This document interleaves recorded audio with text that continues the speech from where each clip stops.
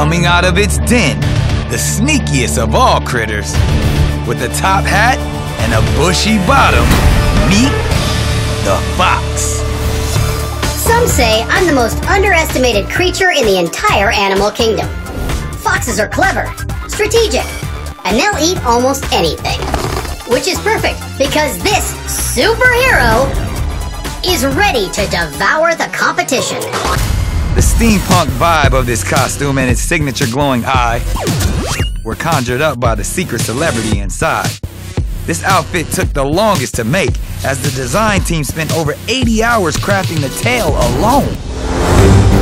What does the fox say? Good luck figuring me out, because I plan on staying in my foxhole till the very end.